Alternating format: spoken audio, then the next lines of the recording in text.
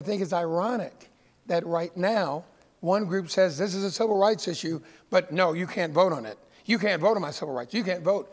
When my father was threatened at gunpoint, people were killed and lynched over the fact that they could not vote. And it looks like we're telling all these people in the city, you have no civil rights because my civil rights mm. are so important.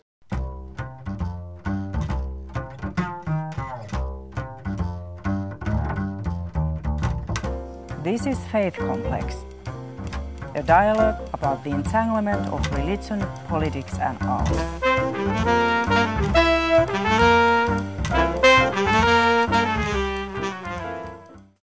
My name is Jacques Berlinerblau of Georgetown University, and you're watching Faith Complex. Joining us today is Bishop Harry Jackson. He is senior pastor of Hope Christian Church and chairman of the Stand for Marriage DC Coalition. He's also the author of Personal Faith and Public Policy. Bishop Jackson, welcome to Faith Complex. Thank you for having me, sir. Tell us about the Stand for Marriage DC Coalition. We hear a lot about this in the news.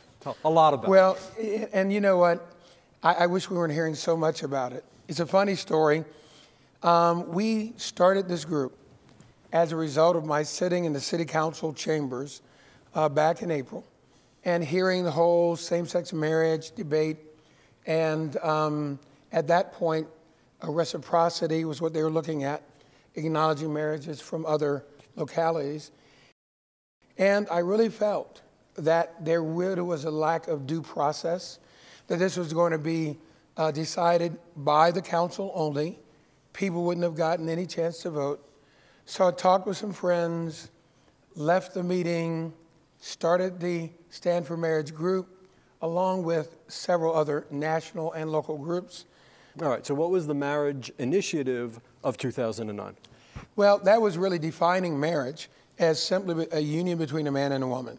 And obviously, if you define it that way, right. you would exclude um, gay marriage in the mix. And the reason we did it is we felt like when you redefine marriage, there are all kind of unintended consequences, such as family gets redefined, therefore parenting who adopts kids, how that works gets redefined. Education of necessity is redefined in what can be taught at eight years old or in the eighth grade, what sex education looks like. And we're going to take the thing to the highest levels only because our real premise is that the people in the District of Columbia have a right based on the charter to bring forth an initiative or a referendum. This is a question of process. It's a question of process. Okay. And I, I just can't understand how folks are saying, well, the charter, which is tantamount to a constitution of, of a state or a constitution of a nation, well, we're going to ignore the charter because of a, a, rule or an act that was essentially a subsequent law. Doesn't make sense. It's not good law shouldn't stand. Let's clarify the record. Mm-hmm. Right? I'm sure that you're going to say you are definitely not anti-gay. Yeah. You are not homophobic. Yep, as far as I can tell. Finish the sentence for us. You're simply well, opposed to? I'm simply opposed to the redefinition of a foundational structure in culture without there really being proof that this is not going to destroy mm. marriage. Think about it this way from an African American perspective. I, I pastor a multiracial church, but today in DC, 40% of young black women will never be married. Um, you're going to have seven or eight of our babies born out of wedlock here in DC. You're going to have 40% of the pregnancies terminated by abortion here in this uh, district.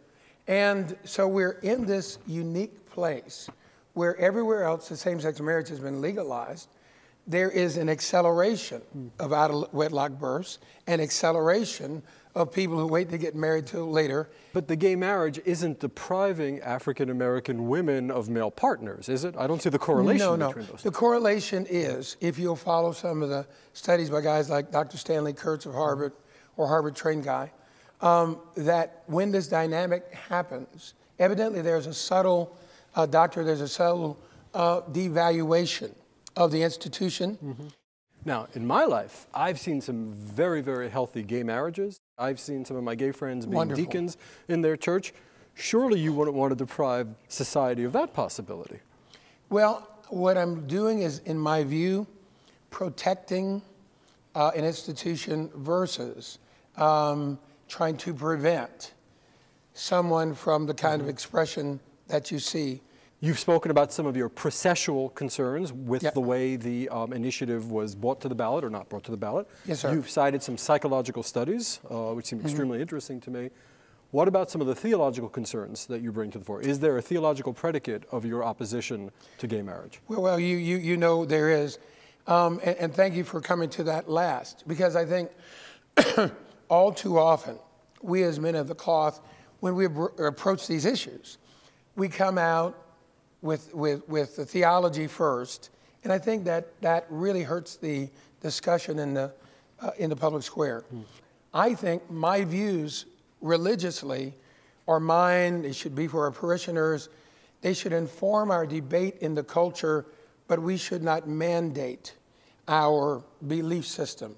That being said, I believe the Bible is very clear on its teachings against same sex marriage um, as it relates to first the whole homosexual lifestyle. Now, that's not where we start or finish publicly. I think my public issue is the people should vote on it. And if the District of, of Columbia voted to have same sex marriage, I'd be applauding the democratic process. The gay